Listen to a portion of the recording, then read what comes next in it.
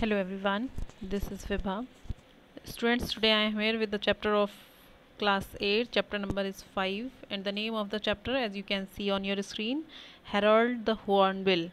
There is a story about a little bird then uh, that is Hornbill and the name of that bird is Harold. So let's start. Let's begin. Pets could be able, uh, could be of any kind, animal or bird uh, some people uh, refer to have cats and dogs as pet, while prefer to have birds like parrot, cactus and lovebirds. वो कहते हैं pets जो हैं वो किसी भी तरीके के हो सकते हैं चाहे वो एनिमल हों बर्ड हों कुछ लोग जो हैं वो कैट्स और डॉग्स को एज अ पेट रखना पसंद करते हैं और कुछ लोग जो हैं वो बर्ड्स को चाहे वो पैरट हों कैक्टूज हों और या फिर लव बर्ड्स हों ठीक है तो किसी भी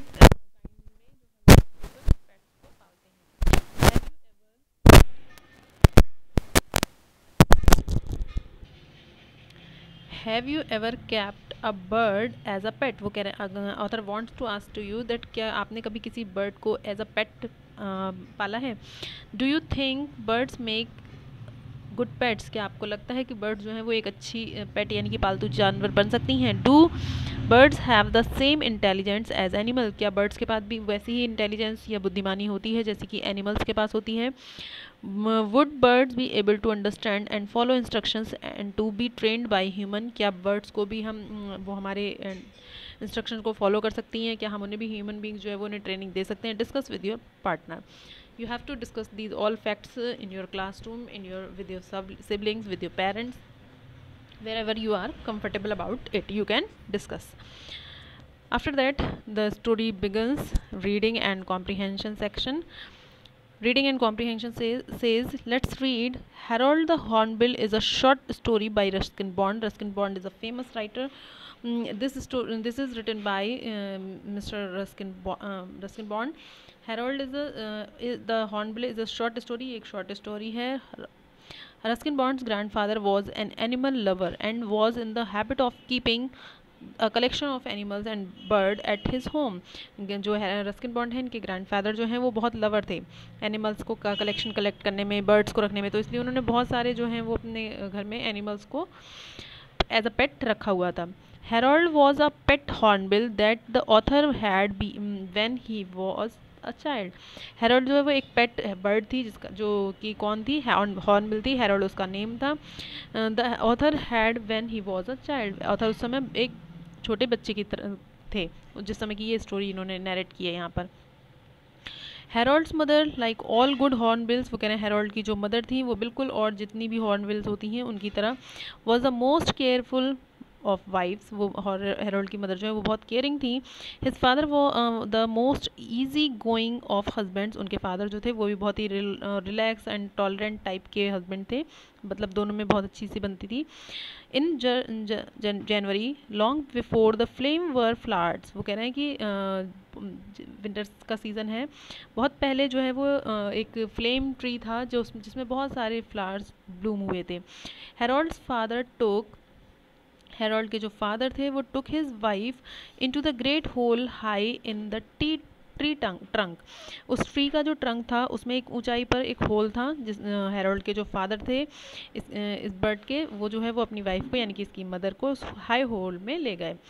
Where his father and his father's father had taken their brides at the same time every year वो कह रहे हैं, जहाँ पे उसके पिताजी और उसके पिताजी के भी पिताजी means his grandfather takes their brides means अपनी जो फीमेल पार्टनर होती हैं, उनको हर साल उसी होल में ले जाया करते थे। In this weather beaten hollow generation upon generation of hornbill had been raised and Harold's mother like those before her was enclose within the hole by the study of earth sticks and dunks वो कह रहे हैं कि इनके यहाँ जो, ये जो विंटर सीज़न आता था, इस समय बहुत ज़्यादा ठंड होती थी तो वो कह रहे हैं इनके यहाँ जनरेशन टू जनरेशन ये फॉलो होता चला जा रहा था हॉर्नबिल के यहाँ, कि जब भी ये लोग रेस्ड करेंगे मतलब अपनी रिप्रोडक्शन करेंगे तो ये लोग वहीं पर उसी क्लोज अनक्लोज प्लेस में जो मदर होती थी, उनको फीमेल कैंडिडेट को वहाँ पर ले जाते ताकि वो वहाँ सेफ़ रहें, ठंड से और और भी चीज़ों से। Harold's father left a small sit in the centre of this wall जो हेरोल्ड के फादर होते थे लेफ़्ट अ स्मॉल सिट एक स्लिट उन्होंने एक, जो दीवार के बीच में एक हल्का सा छोटा सा प्लेस छोड़ दिया था to enable him to communicate with his wife whenever he felt like a chat वो कह रहे हैं। और उन्होंने एक छोटा सी, छोटी सी जगह सिर्फ़ वहाँ पर उस दीवार में छोड़ दी थी, बाकी सारा कवर कर दिया था, ताकि जब कभी भी वो उसकी मदर से बात करना चाहें तो he can talk to her walled up in her uncomfortable room वो कह रहे हैं, उन्होंने क्या किया था? उसकी मदर को एक ऐसे रूम में मतलब बंद कर दिया था, जो कि थोड़ा सा अनकम्फर्टेबल था उसके लिए। Harold's mother was the prison prisoner for over two months वो हेरोल्ड की जो मदर थी, वो वहाँ पे एज अ प्रिजनर रही थी, लगभग करीब टू मंथ्स के लिए। During this period an egg was laid and Harold was born और इस ड्यूरेशन में उस, उन्होंने एक एग दिया, जिसमें से हेरोल्ड का जन्म हुआ। Harold this is the bird it is in his naked boyhood यानी कि मीन्स जब when he was just a baby a kid Harold was not no beauty Harold जो है, वो बहुत खूब देखने में बहुत खूबसूरत नहीं था। ठीक है? एक सिंपल सा बर्ड बर्ड बेबी बर्ड था ये। His most promising feature was his flaming red bill वो कह रहे हैं इसकी जो सबसे खूबसूरत चीज़ थी वो सिर्फ़ और सिर्फ़ इसकी सबसे तेज़ जो रेड कलर की डार्क इसकी बिल बिल मीन्स होता है चोंच। यहाँ पर बिल का वैसे दूसरे और भी मीनिंग होते हैं, लेकिन देर, द हार्ड जो एक हार्ड प्रोजेक्टेड आगे की तरफ़ निकली हुई जो वीक होती है, उसको भी हम बिल बोलते हैं। Matching the blossoms of the flame tree, वो कह रहे हैं जिस ट्री पे वो रहा करते थे, क्योंकि उस पर जो फ्लावर थे वो भी ऐसी डार्क रेड कलर के आया करते थे तो कह रहे हैं वो दो उसकी जो चोंच थी और जो वहाँ पे जो ब्लेम ट्री के, फ्लेम ट्री के जो फ्लावर्स थे वो भी मैच करते थे उससे। Which was now ablaze heralding summer. क्यों? वो भी वो कह रहे हैं वो भी ऐसा लगता था कि वो भी जैसे आ, सब कुछ बाहर भी जो है वो जल उठाओ या खिल उठाओ रेड रेड हो गया हो।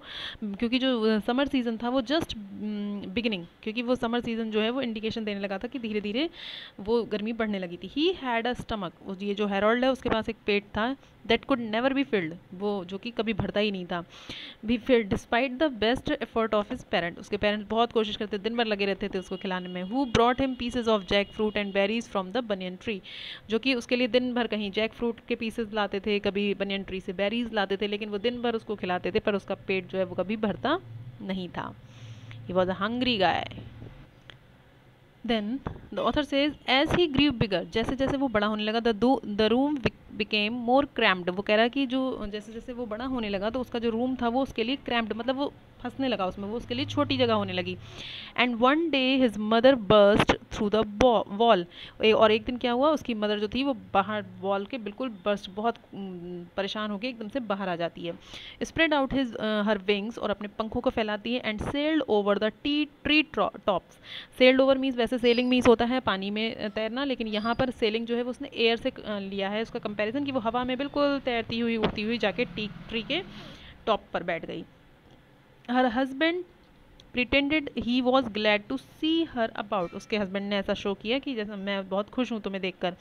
And play with her expressing his delight with deep gargle and throaty chuckles, उन दोनों ने बहुत खुशी एक दूसरे के साथ वहाँ पे फ्लाई करना शुरू किया खेलने लगे और अपने जो गले से जो है वो डिफरेंट डिफरेंट काइंड्स की वॉइस निकालने लगे दोनों एक दूसरे को कि means they are sharing their happiness with each other then they repaired the wall of the nursery so that Harold would not fall out. फिर उन दोनों ने क्या किया? मतलब अपने जैसे जो बर्ड जो हैं, वो अपना नेस्ट बनाते हैं तो उन्होंने उसको कवर अप किया उस वॉल को ताकि कहीं ऐसा ना हो, जो जिस वॉल से को तोड़ के वो उसकी मदर बाहर आ गई थी, उससे कहीं हेरोल्ड जो है, वो बाहर ना गिर जाए। Harold was quite happy in the in her in his cell लेकिन हेरोल्ड जो था, वो अपनी उस कैद में, एक छोटी सी जो कैद थी, उसकी, उसमें वो खुश था। And felt no urge for freedom और ना ही उसे बाहर निकलने की या आज़ादी की कोई इच्छा थी, ना ही वो कोशिश कर रहा था कि मुझे बाहर जाना है। वो खुश था उतनी ही जगह में। He was putting on weight and feathers and acquiring a philosophy of his own उसके जो पंख हैं, उसका वेट है, वो धीरे धीरे बढ़ने लगा और उसकी अपनी, खुद की एक दुनिया हो गई। खुद की उसने अपनी चीज़ें क्रिएट कर ली उस छोटे से घर में। बाहरी दुनिया से उसे कोई मतलब नहीं था। Then something happened to change the course of his life तभी अचानक से कुछ ऐसा हुआ जिससे उसकी उसकी लाइफ जो है वो बिल्कुल चेंज हो गई। One afternoon he was awakened from the siesta by a loud thumping a sound quite different from the from that made by his parents वो कहते हैं कि अचानक से एक दिन क्या हुआ? वो उसकी जो है, वो आँख खुल गई। वो सोया हुआ था हेरोल्ड और उसकी जो दोपहर में सिस्टर मीन्स होता है a short nap taken in the afternoon जो आप दोपहर में हल्की सी एक नींद की झपकी लेते हो इसको बोलते हैं सिस्टर तो वो एकदम अचानक से उसकी आँख खुली, कैसे? जो कि उसने बहुत ज़ोर से कुछ गिरने की आवाज़ सुनी a sound quite different from that made by his parents वो आवाज़ बिल्कुल अलग थी, जैसे कि उसके पेरेंट्स जब आते थे तो वो आवाज़ क्रिएट करते थे, उससे वो बिल्कुल अलग थी. सुन द वॉल ये वे, अचानक से क्या हुआ? उसने देखा कि जो उस दीवार, जिस दीवार के अंदर वो रहता था, जिस कवर अप के अंदर वो रहता था, वो अचानक से खुल गई थी मतलब वहाँ से रास्ता दिख रहा था। And there was a something large and yellow and furry staring at him और उसके, उसने क्या देखा? है कुछ बड़ा सा येलो कलर का फरी सा झबरे झबरे बाल हों जिसके staring at him staring means होता है घूरना, उसकी तरफ़ घूर रहा हो। No not his parents bill ये उसके पेरेंट्स की चोंच नहीं थी but the hungry eyes of civet cat, ये एक तरीके की एक कैट थी जो बहुत एक्टिव होती है, कार्निवरस होती है मतलब फ्लैश खाती है, मैमल होती है।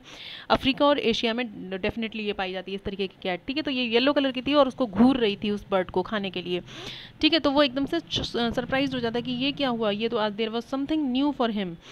Before Harold could be seized मतलब वो हेरोल्ड को अपने कब्जे में ले पाती, सीज्ड मीन्स होता है कब्जा कर पाना या उसको पकड़ पाना। His parents flew at the cat उसके जो पेरेंट्स है वो आ जाते हैं और कैट के ऊपर मंडराने लगते हैं, उड़ने लगते हैं। बोथ रोरिंग लस्टिली जो है रोरिंग मीन्स बहुत तेज़ी तेज़ी से वो दोनों स्ट्रॉन्ग मतलब स्ट्रॉन्ग आवाज़ में बहुत ज़ोर से चिल्लाने लगते हैं and striking out with their great bills और अपनी जो उनकी तेज़ होती है हॉर्नबिल की जो है वो सबसे मेन जो क्वालिटी होती है, वो होती है उनकी बिल मीन्स उनकी जो वीक होती है वो बहुत स्ट्रॉन्ग होती है, उनकी चोंच जो है वो इतनी हार्ड होती है, इतनी चोट चो कि वो किसी को चोट भी पहुँचा सकते हैं।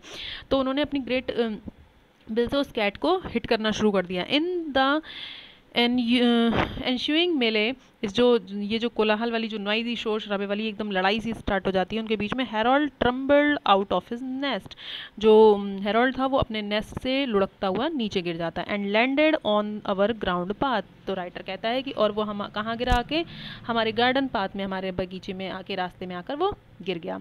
बिफोर द कैट और any predator could get him grandfather had picked him up and taken him to the sanctuary of the veranda वो कहते हैं, जब तक कोई कैट या फिर कोई दूसरा प्रीडेटर मीन्स होता है, कोई एनिमल दूसरा एनिमल जो शिकारी होता है, शिकारी एनिमल कोई उसको और पकड़ पाता तो उससे पहले ही हमारे, मेरे ग्रैंडफादर ने उसको उठाया और उसको हमारी जो सेंचुरी यानी कि सेफ़ प्लेस था, जो बरांडे में जहाँ पे हमारे और भी एनिमल्स रहते थे, वो उसको वहाँ ले आए।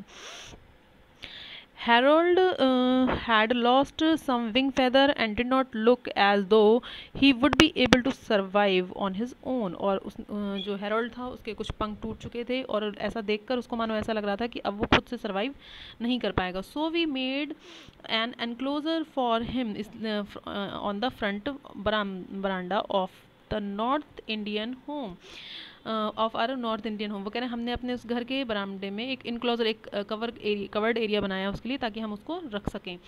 And grandfather and I took over the duties of his parents और उसके हम मैंने और मेरे ग्रैंडफादर ने उसके पेरेंट्स का रोल निभाना शुरू किया। जो काम उसके पेरेंट्स उसके लिए करते थे वो हम लोगों ने करना शुरू किया ताकि उसकी टेक केयर हो सके।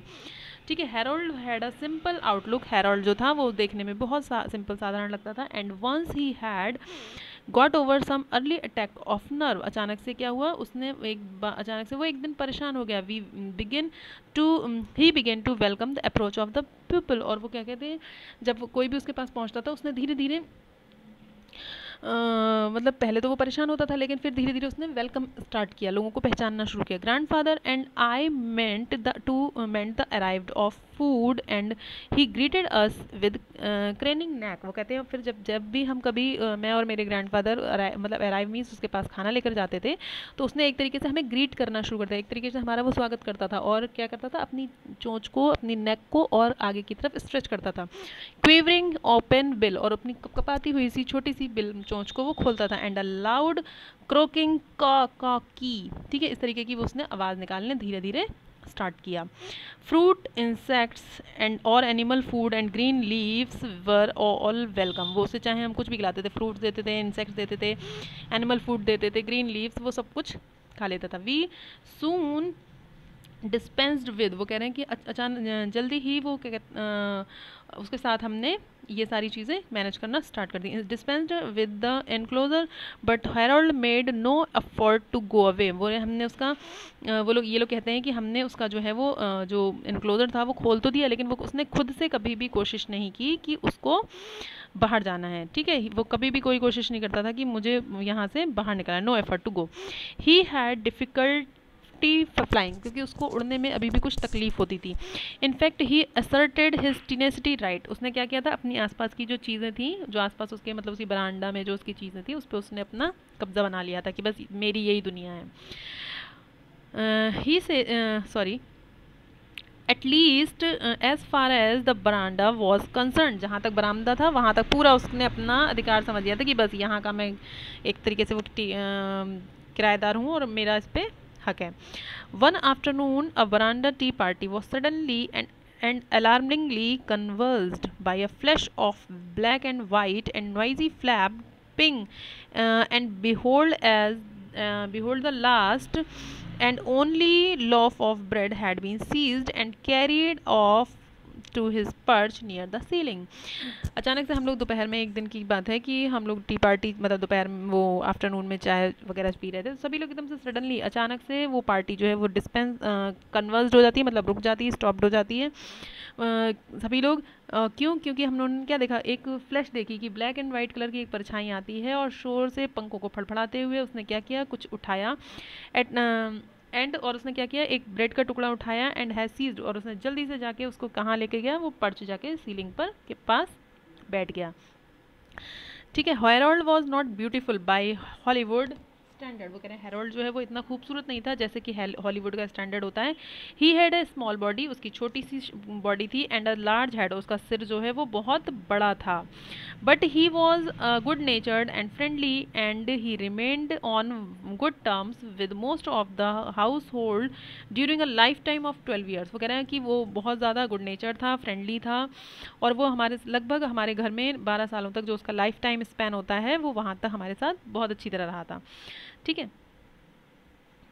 After that Harold's best friend were those who fed him उसके बेस्ट फ्रेंड वही हुआ था करते थे जो उसे खाना खिलाते थे. And he was willing even to share his food with us वो और कोशिश करता था कि वो अप, हमारे साथ अपना खाना भी शेयर करता था.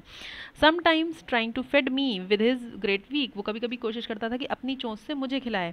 While I turn down his offer of beetles and similar delicacies I did occasionally share up banana with him वो कह रहे मैं उसकी जो है वो टर्न डाउन कर दिया करता था, उसके ऑफर्स को बहुत प्यार से और मैं ओकेजनली उसको बनाना शेयर करता था। His eating was serious business for horror Harold क्योंकि ईटिंग जो थी वो उसके लिए बहुत सीरियस बिज़नेस था, ये बहुत ध्यान से करता था। And if there was any delay of meal time he would सम्मान वो कह रहे हैं। और अगर उसके खाने में कोई देर हो जाती थी तो वो ज़ोर ज़ोर से सम्मान यानी कि मुझे बुलाना शुरू कर देता था।